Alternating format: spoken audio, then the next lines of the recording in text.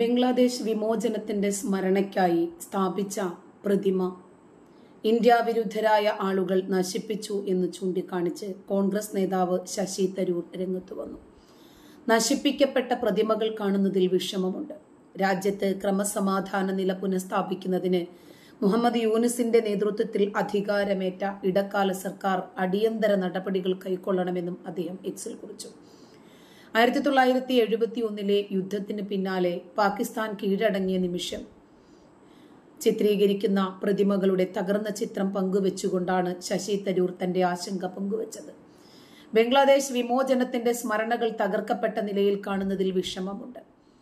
Indian സാംസ്കാരിക കേന്ദ്രങ്ങൾക്കും ക്ഷേത്രങ്ങൾക്കും ഹിന്ദു വിഭാഗത്തിൽപ്പെട്ടവരുടെ വീടുകൾക്കും എതിരായ ആക്രമണങ്ങളും അതിന്റെ തുടർച്ചയുമാണിത് എന്നും അദ്ദേഹം പറഞ്ഞു.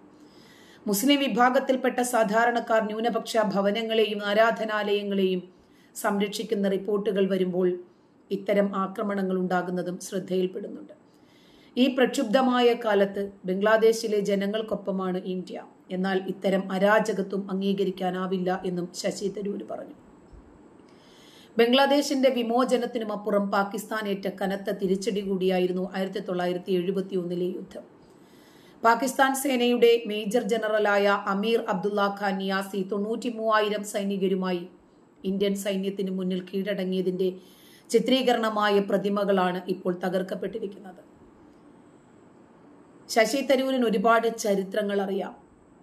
ആ ചരിത്രബോധമുള്ള വ്യക്തിയായതുകൊണ്ടാണ് അദ്ദേഹത്തിന് ഏറെ വേദന തോന്നിയതും അത് പങ്കുവച്ചത്.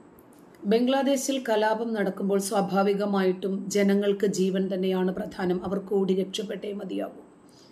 ഇപ്പോൾ ബംഗാൾ ത്രിപുര മേഘാലയ എന്നിവിടങ്ങളിലെ അതിർത്തിയിലൂടെ ഭാരതത്തിലേക്ക് നുഴഞ്ഞു കയറാൻ ശ്രമിച്ച പതിനൊന്ന് ബംഗ്ലാദേശികളെ അറസ്റ്റ് ചെയ്തതായിട്ടാണ് അതിർത്തിയുടെ സുരക്ഷാ സേന വ്യക്തമാക്കുന്നത്. ബംഗാൾ ത്രിപുര അതിർത്തിയിൽ നിന്ന് രണ്ട് വീതം പേരെ മേഘാലയയിൽ നിന്ന് ഏഴ് പേരെയുമാണ് പിടിയിച്ചത്. ഇവരെ ചോദ്യം ചെയ്തു വരികയാണെന്നും തുടർ നടപടികൾക്കായി പോലീസിന് കൈമാറുമെന്നും സൈന്യം പറഞ്ഞു. ബംഗ്ലാദേശിലെ ന്യൂനപക്ഷ സമൂഹങ്ങൾക്ക് നേരെയുള്ള അതിക്രമങ്ങൾ തടയുന്നതിനായി ബംഗ്ലാദേശ് അതിർത്തി സുരക്ഷാ സേനയായ ബോർഡർ ഗാർഡ് ബംഗ്ലാദേശുമായി നിരന്തരം ബന്ധപ്പെട്ടുകൊണ്ടിരിക്കുകയാണെന്നും സൈന്യം പറഞ്ഞു. ബംഗ്ലാദേശിൽ ഷെയ്ഖ് ഹസീന സർക്കാരിന്റെ പതനത്തെ തുടർന്ന് രാജ്യത്തെ ന്യൂനപക്ഷങ്ങൾ നേരിടുന്ന പ്രശ്നങ്ങൾ പരിശോധിക്കാൻ കേന്ദ്ര ആഭ്യന്തര മന്ത്രാലയം കഴിഞ്ഞ ആഴ്ച B S F eastern command additional ഡയറക്ടറായ ജനറൽ രവി ഗാന്ധിയുടെ നേതൃത്വത്തിൽ കമ്മിറ്റി രൂപീകരിച്ചിരുന്നു. പ്രശ്നങ്ങൾ പരിഹരിക്കുന്നതിന് ബി ജി ബിയുമായി ബി എസ് എഫ് ഫ്ളാഗ് മീറ്റിംഗുകൾ നടത്താനും നിർദ്ദേശിച്ചിട്ടുണ്ട്. എന്നാൽ ഓഗസ്റ്റ് അഞ്ചാം തീയതി ബംഗ്ലാദേശ് പ്രധാനമന്ത്രി പദം ഉപേക്ഷിച്ച് ഷെയ്ഖ് ഹസീന രാജ്യം വിട്ടതിനു ശേഷം ബംഗ്ലാദേശിലെ ഹിന്ദുക്കൾക്കെതിരെ അതിക്രൂരമായ ആക്രമണമാണ് ജമാഅത്തെ ഇസ്ലാമി പ്രവർത്തകരിൽ നിന്നും അവിടുത്തെ വിദ്യാർത്ഥി പ്രക്ഷോഭകരിൽ നിന്നും ഉണ്ടായത്. സംവരണ വിരുദ്ധമായി തുടങ്ങിയ ഒരു കലാപം ഒരു പ്രതിഷേധം എങ്ങനെയാണ് ന്യൂനപക്ഷങ്ങളുടെ നേർക്ക് വരുന്നത് എന്നതിനെ കുറിച്ചിട്ടാണ് ഇവിടെ സംസാരിക്കേണ്ടത്.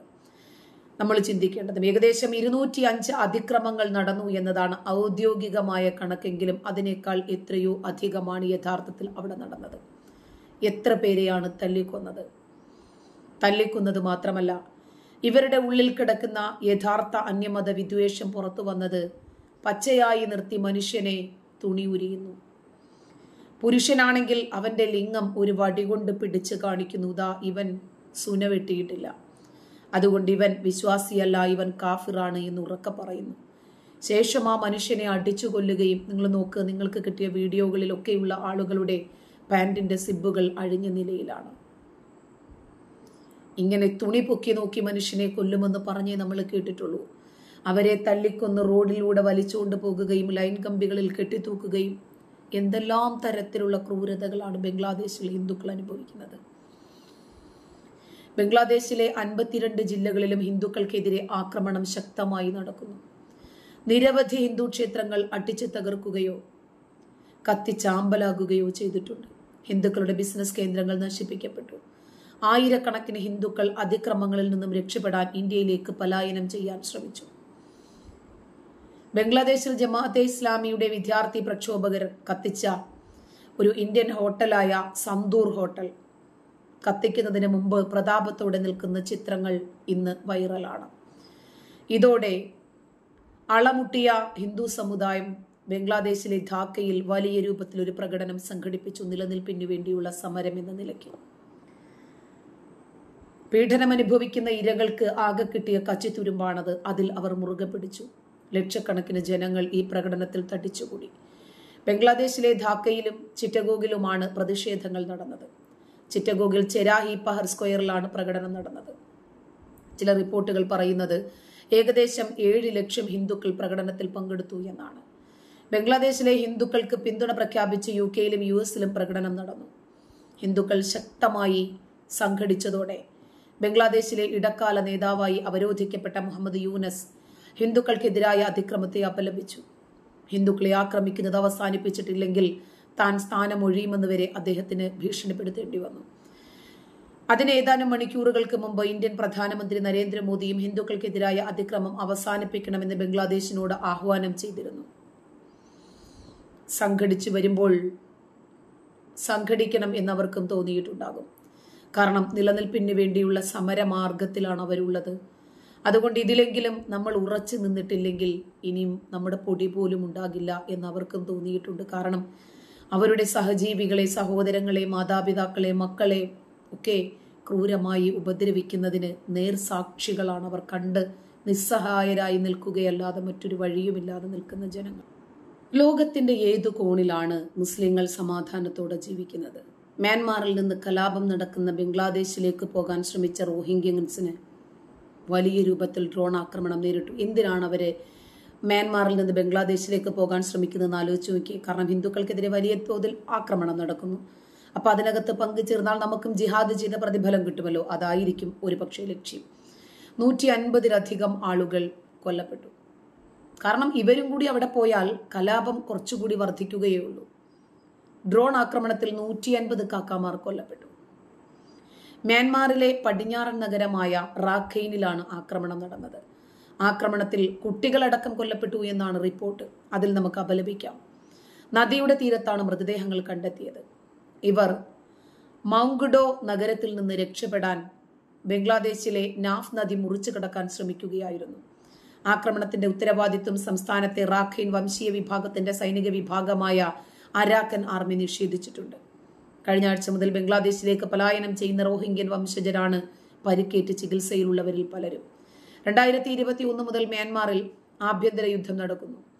അതുകൊണ്ട് ഒരു തരത്തിലുമുള്ള യാത്രയും അനുവദനീയമല്ല. അതേസമയം ബംഗ്ലാദേശിലെ ഇസ്ലാമിസ്റ്റുകൾ തങ്ങളെ സ്വീകരിക്കുമെന്ന ധാരണയിലായിരുന്നു ഇവർ ബംഗ്ലാദേശിലേക്ക് കടക്കാൻ ശ്രമിച്ചത് എന്നാണ് അവർ തന്നെ പറയുന്നത്. ഇവർ അതായത് മുസ്ലിങ്ങളാണല്ലോ അവരെ രണ്ട് കൈയും കൂട്ടി സ്വീകരിക്കും എന്ന ഒരു ധാരണയാണ് അവർക്കുള്ളത്.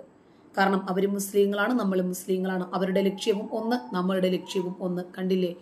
ഇവർ ഹിന്ദുക്കളെ ഇല്ലാതാക്കുക എന്ന ലക്ഷ്യത്തോടു കൂടിയല്ലേ കുടുംബവും ഒത്ത് ബംഗ്ലാദേശിലേക്ക് കയറാൻ ശ്രമിച്ചത്? ഒരു പ്രധാനമന്ത്രിക്കോ ഒരു സുപ്രീം കോടതി ജഡ്ജിനോ ഒന്നും ഈ മുസ്ലിങ്ങളുടെ ഇടയിൽ നിലനിൽപ്പില്ല.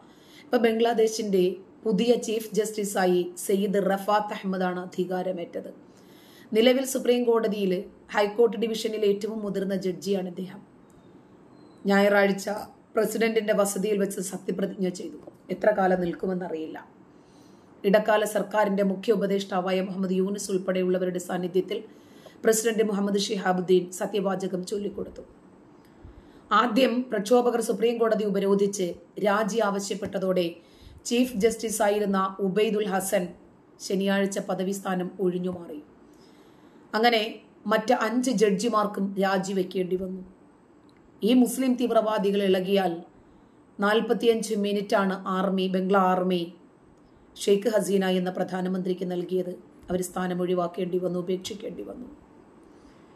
ഇനിയും അവരുടെ അബൂ നജം എന്ന് പറയുന്ന മുസ്ലിം പുരോഹിതൻ പറഞ്ഞത് ഒറ്റ ഹിന്ദുക്കളെയും ഇവിടെ വച്ചേക്കരുതെന്ന്. കൊന്നുകളയാനാ പറഞ്ഞു.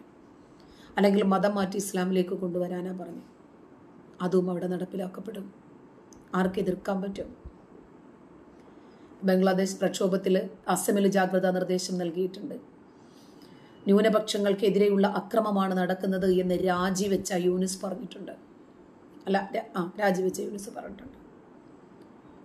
ആലോചിച്ച് നോക്കിയേ. ഒരു നാട്ടിൽ നടക്കുന്നതാ. അതായത് പുതുതായി സ്ഥാനമേറ്റ യൂനിസ് എന്ന വ്യക്തി പറയാണ് മര്യാദയ്ക്ക് നിങ്ങൾ ആക്രമണം അവസാനിപ്പിച്ചിട്ടില്ലെങ്കിൽ എനിക്ക് നിങ്ങൾ തന്ന സ്ഥാനം വേണ്ട. എന്തൊരു ഗതികേടാണെന്ന് നോക്കിക്കേ. പോലീസ് സ്റ്റേഷനുകളില്ല ജയിലുകളില്ല. ഒറ്റ തീവ്രവാദികളുമില്ല എല്ലാവരും ആയുധവുമായിട്ട് കടന്നു കളഞ്ഞു. ഇരുപത് അവാമി ലീഗിന്റെ നേതാക്കളുടെ മൃതശരീരമാണ് കണ്ടെത്തിയത്. ഷെയ്ഖ് ഹസീനയുടെ പാർട്ടി? ഒരുവിധം അവസാനിച്ച പ്രക്ഷോഭം വീണ്ടും ന്യൂനപക്ഷങ്ങൾക്ക് നേരെയും ഈ അവാമി ലീഗിന് നേരെയും എങ്ങനെയാണ് തുടങ്ങിയത് എന്ന് ആലോചിച്ച് നോക്കിക്ക് ഇവർ എവിടെ പോയാലും. ഇവരുടെ ലക്ഷ്യവും ഇവരുടെ പ്രവർത്തന മേഖലകളും ഇവരുടെ രീതികളും ഇത് തന്നെയാണ് ഇങ്ങനെ തന്നെയായിരിക്കും. നന്ദി.